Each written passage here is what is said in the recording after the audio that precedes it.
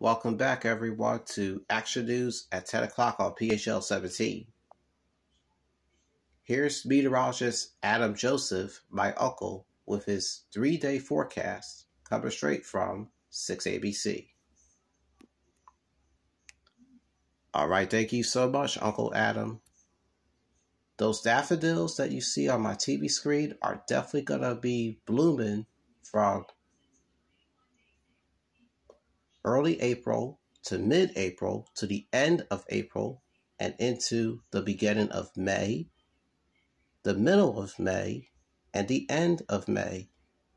Before you know it, my favorite flower will definitely be a sight for sore eyes with many people. No questions being asked right there. And Action News at 10 o'clock on PHL 17 continues right after this.